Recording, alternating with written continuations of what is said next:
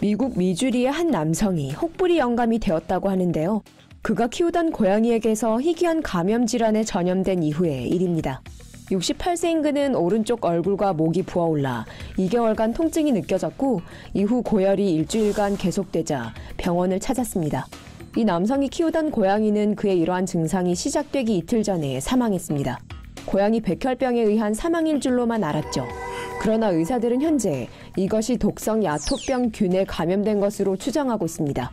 고양이가 약을 주는 그에게 뛰어올라 물거나 핥혔을 가능성이 있습니다. 이 예상대로 이 남성은 야토병 균 검사의 양성을 보였는데요. 그는 야토병 진단을 받았으며 4주간 항생제 처방을 받았습니다.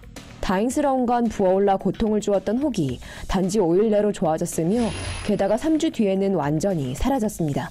야토병은 토끼 열병으로 보통 알려져 있는데요.